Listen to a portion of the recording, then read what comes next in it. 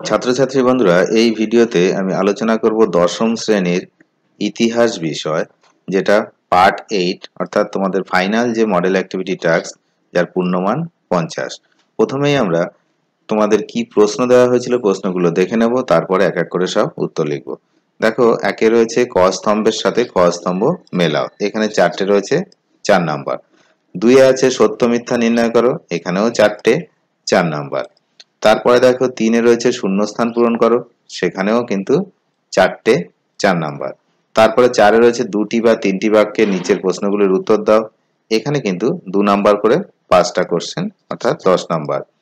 এরপরে দেখো পাঁচে রয়েছে সাত, আটটি বাক্যে উত্তর দাও। সাত, আটটি বাক্যে উত্তর দাও দেখো। এখানে রয়েছে পাঁচটা চার নাম্বার করে, অর্থাৎ ব্রড কোশ্চেন এখান থেকে শুরু।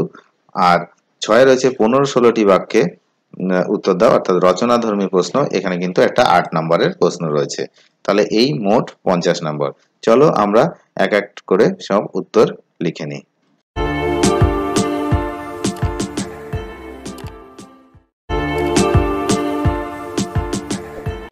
দেখো, একে ছিল ক স্তম্ভের সঙ্গে খ স্তম্ভ মেলাও ক স্তম্ভ আর খ স্তম্ভ এরকম কিছু দেওয়া ছিল।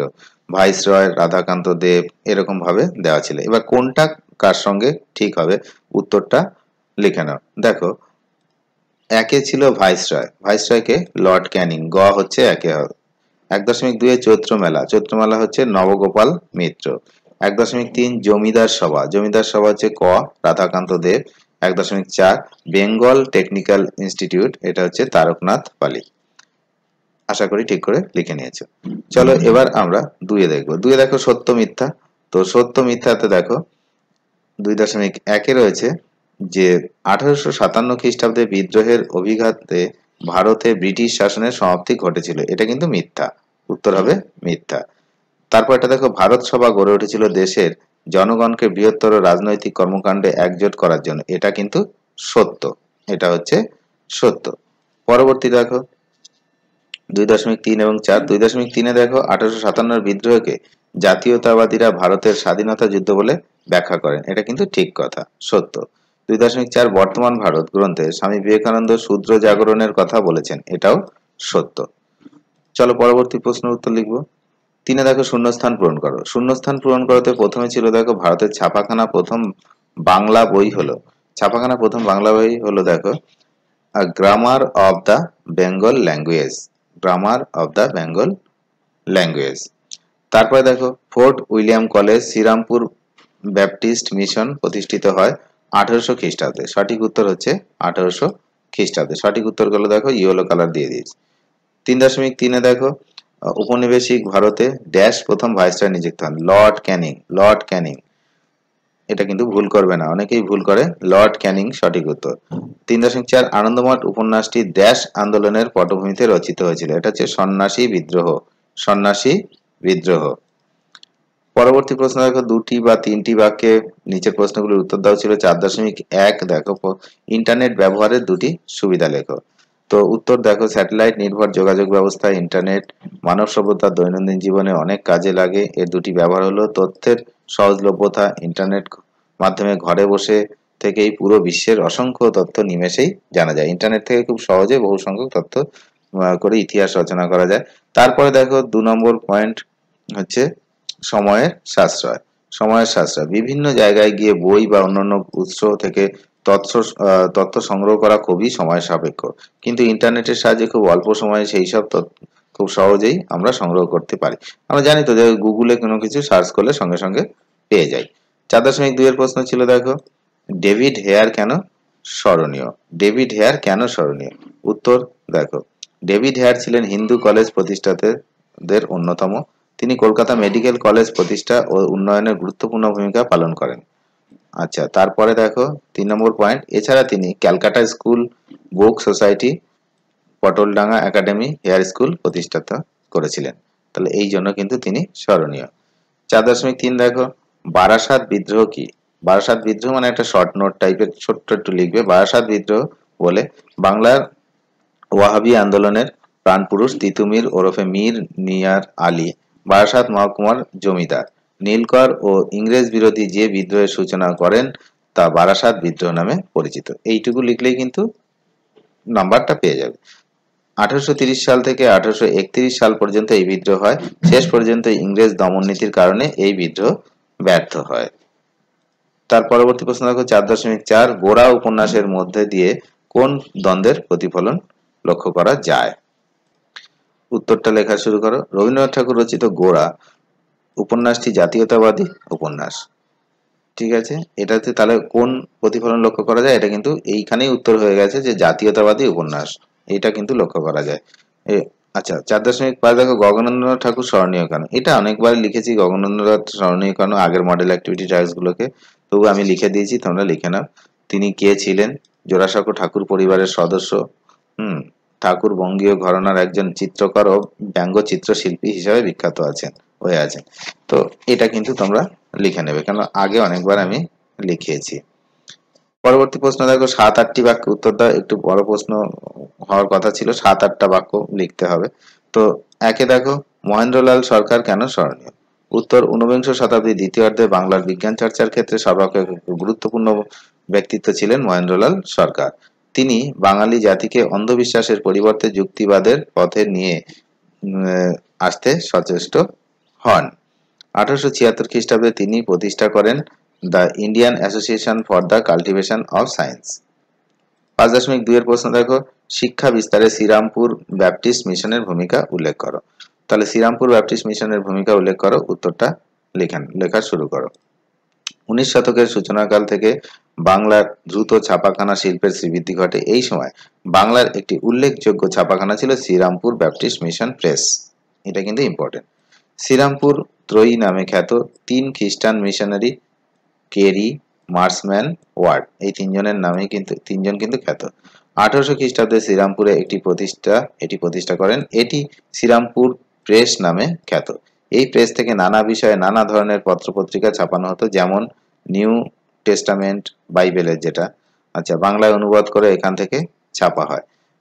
এছাড়াও স্কুল ও কলেজের জন্য পাঠ্যপুস্তক প্রণয়ন ও প্রকাশনার বিশেষ ব্যবস্থা করা হয়। আঠারোশো বত্রিশ খ্রিস্টাব্দের মধ্যে এই প্রেস থেকে চল্লিশটি ভাষায় দু লক্ষের বেশি বই ছাপানো হয়।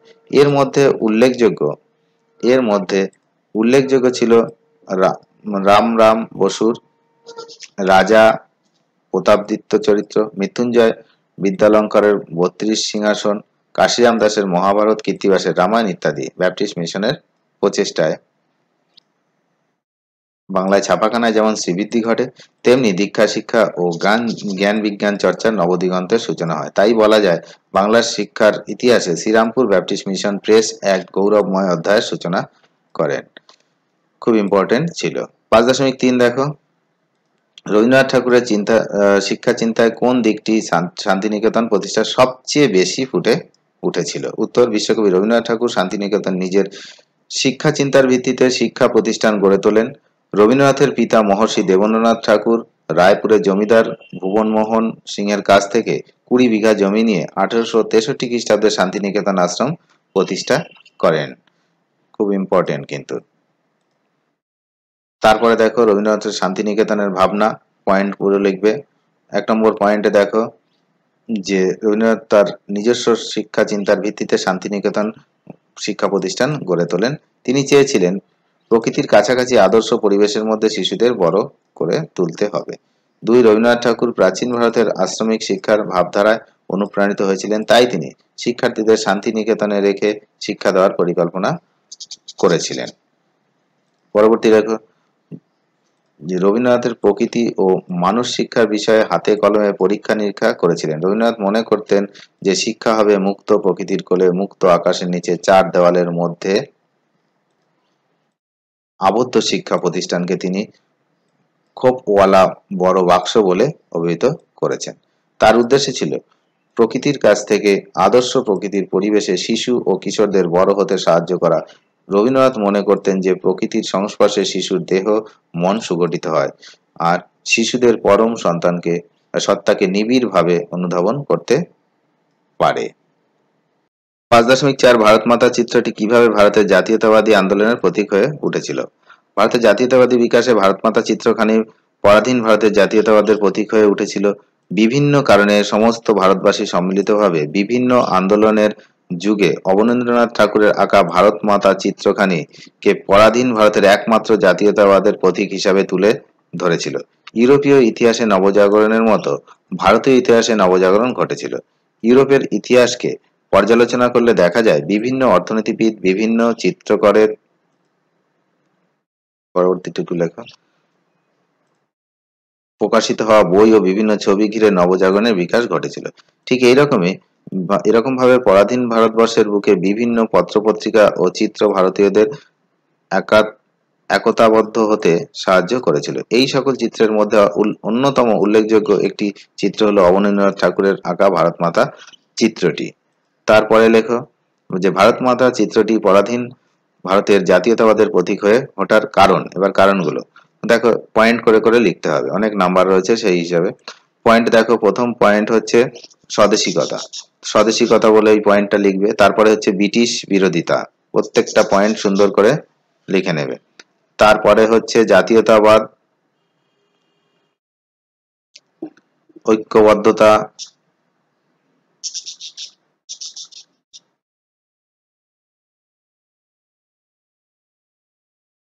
পাঁচ দশমিক পাঁচ দেখো, বাংলার নবজাগরণ ছিল কলকাতা কেন্দ্রিক বিশ্লেষণ করো। বাংলার যে নবজাগরণ, সেটা হচ্ছে কলকাতা কেন্দ্রিক, সেটাকে তোমাকে বিশ্লেষণ করতে উত্তর উনিশ শতকের গোড়ায় বাংলার শিক্ষা, সংস্কৃতি, ধর্ম, সমাজ প্রভৃতি ক্ষেত্রে এক নবচেতনার সূচনা হয়, যা বাংলার নবজাগরণ নামে পরিচিত। বাংলার নবজাগরণ মূলত কলকাতা কেন্দ্রিক ছিল। তাই সামগ্রিকভাবে সমস্ত বাংলায় ছড়িয়ে পড়তে পারেনি। তবে এই নবজাগরণের মাধ্যমে বাংলার ধর্ম ও সমাজে আধুনিকতার সঞ্চয় হয়েছিল। এবার দেখো পনেরো ষোলোটি বাক্যে উত্তর দিতে হবে। অর্থাৎ রচনাধর্মী প্রশ্ন প্রাচ্য পাশ্চাত্য শিক্ষা বিষয়ক দ্বন্দ্ব সম্পর্কে সংক্ষেপে আলোচনা করো। খুব গুরুত্বপূর্ণ, এটাতে সবচেয়ে বেশি নাম্বার ভালো করে লিখে নাও। প্রাচ্য পাশ্চাত্য বিতর্ক আঠারোশো একত্রিশ খ্রিস্টাব্দে চার্টার অ্যাক্টে এদেশের শিক্ষা খাতে প্রতি বছর বরাদ্দ করা এক লক্ষ টাকা প্রাচ্য না পাশ্চাত্য শিক্ষা প্রসারে খরচ করা হবে। সে সম্পর্কে আঠারোশো কুড়ির দশকে এক তীব্র বিতর্ক সৃষ্টি হয়, যা প্রাচ্য শিক্ষা, পাশ্চাত্য শিক্ষা বিষয়ক দ্বন্দ্ব নামে পরিচিত। এই ইম্পর্টেন্ট কিন্তু ভূমিকাটাই। তারপর বিতর্কের বিষয় দেখো। ওই সময় যারা প্রাচ্য ভাষার মাধ্যমে শিক্ষা চর্চার কথা বলেন, তারা প্রাচ্যবাদী এবং যারা ইংরেজি মাধ্যমে শিক্ষা চর্চার কথা বলতেন, তারা হচ্ছে পাশ্চাত্যবাদী নামে পরিচিত হন। তারপরে দেখো এইচ টি প্রিন্সেস এসব কিছু নাম রয়েছে, দেখো তারা পাশ্চাত্যের মত ছিল। সুন্দর করে লিখে নাও, যেমন লেখা আছে। ঠিক আছে, তারপরে দেখো, তারপরে রয়েছে তোমার হচ্ছে বিতর্কের অবসান। বিতর্কের অবসানটা দেখো, যে ভারতে ইংরেজি শিক্ষা বিস্তারের ক্ষেত্রে পাশ্চাত্য পাশ্চাত্যবাদী পাশ্চাত্যবাদী বিতর্কের শেষ পর্যন্ত পাশ্চাত্যবাদীদের মত, মতই সুপ্রতিষ্ঠিত হয় এবং আঠারোশো পঁয়ত্রিশ খ্রিস্টাব্দে আটই March governor general Lord William Bentinck Macaulay minute এর ভিত্তিতে ইংরেজি ভাষার শিক্ষার প্রসারকে সরকারি নীতি বলে ঘোষণা করেন। অর্থাৎ ইংরেজি শিখতেই হবে। তারপরে মূল্যায়ন দেখো। মূল্যায়ন হচ্ছে ভারতের বাংলা প্রদেশে প্রাচ্য পাশ্চাত্য বিতর্ক শুরু হলেও বোম্বাই প্রদেশ সহ অন্যান্য প্রদেশের অনুরূপ বিতর্ক হয়নি। এই স্থানগুলিতে পাশ্চাত্য শিক্ষারীতি গৃহীত হয়েছিল। যাই হোক পাশ্চাত্য পাশ্চাত্য বিতর্কের অবসানের ফলে ভারতে দ্রুত পাশ্চাত্য শিক্ষার প্রসার ঘটতে থাকে। অনেক ধন্যবাদ ভিডিওটি শেষ পর্যন্ত দেখার জন্য। ভিডিওতে এক্ষুনি একটি লাইক করে দাও, আর চ্যানেলে যদি প্রথমবার এসে থাকো, অবশ্যই চ্যানেলটিকে সাবস্ক্রাইব করে রাখবে। তার কারণ তোমাদের সমস্ত মডেল, অ্যাক্টিভিটি, টাস্ক এবং শিক্ষা সংক্রান্ত অন্যান্য বিষয়ের গুরুত্বপূর্ণ আপডেট এই চ্যানেলেই পাওয়া যায়।